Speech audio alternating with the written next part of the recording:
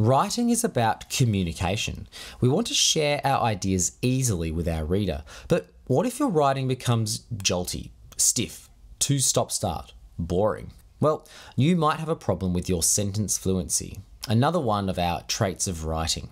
Writing should be a little bit like a river. It's not the same the whole way. It changes, it twists and turns. In some points, it's deeper than others. In other places, it's faster or slower. It keeps moving and it's interesting.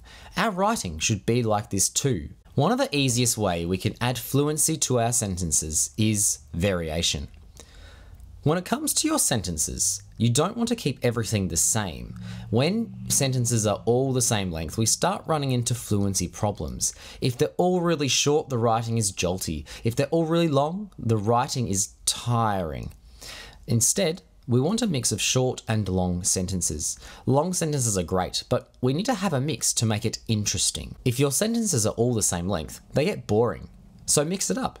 Another easy way to vary your sentences is choosing different sentence starters. If I start my sentences the same way, they get jerky. Let's take a passage from a recount. I went to the movies with my friends on the weekend. I had a large popcorn and drink. I had to go to the toilet because I had too much to drink. I liked the parts with explosions. I had a good time. Look at how each sentence starts with the same word I. Oh, that's a bit boring. It's choppy, it doesn't flow well. Some of the sentences even finish with the same words.